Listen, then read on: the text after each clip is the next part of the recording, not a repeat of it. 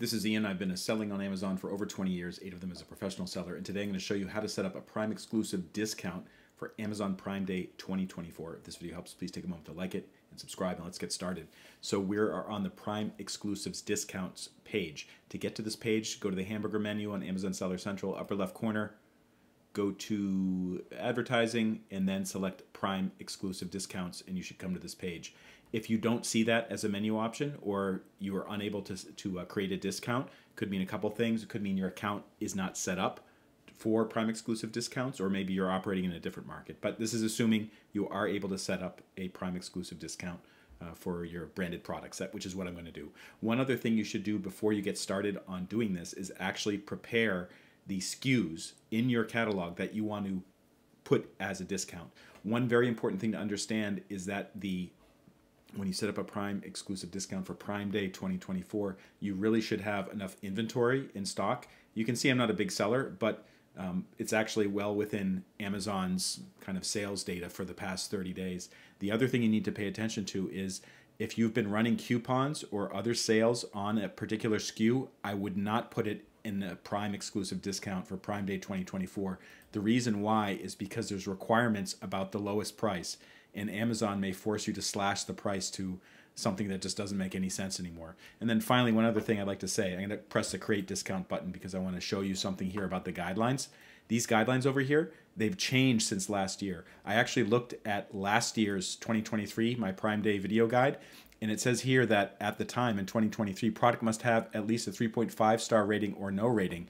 The difference now is that product must have at least one review with an average rating of at least four stars. So this means brand new products with no ratings won't be able to do a Prime exclusive discount, and that's a huge bummer for a lot of sellers out there who've just launched something and they just want to give they want to give this product some gas.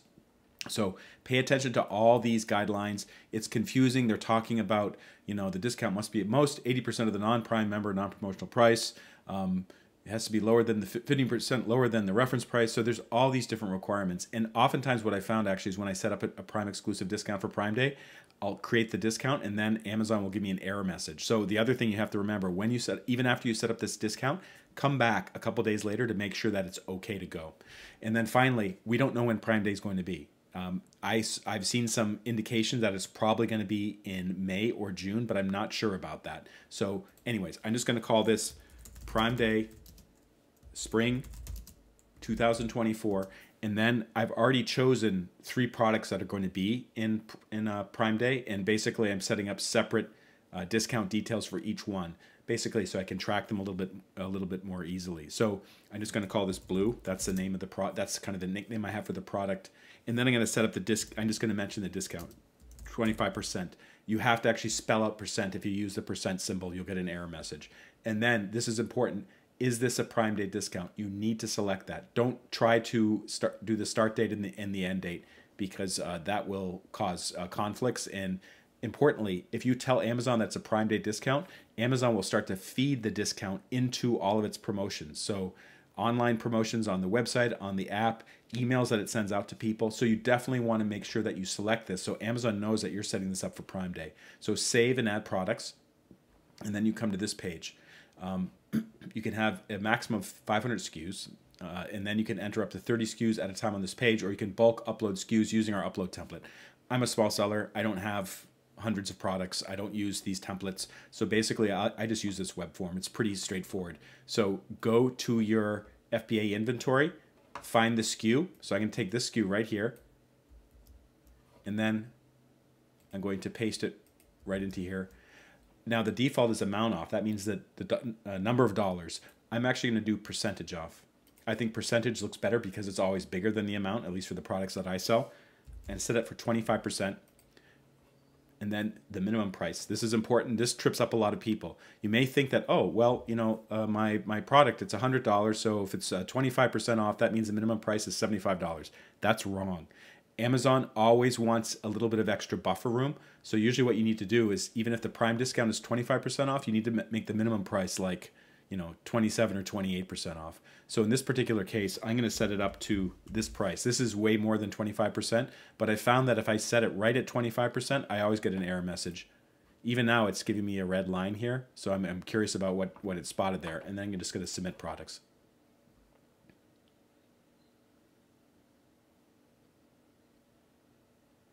Okay, so it's showing up there. It brought in the right uh, ASIN for that. It says it's scheduled. It looks okay. But what I'm going to do, um, actually, before I do that, just pay attention to these warnings because sometimes they're pretty important. Please note that setting up both Prime exclusive discounts and Prime exclusive best deals in the same SKU can result in both promotions getting suppressed.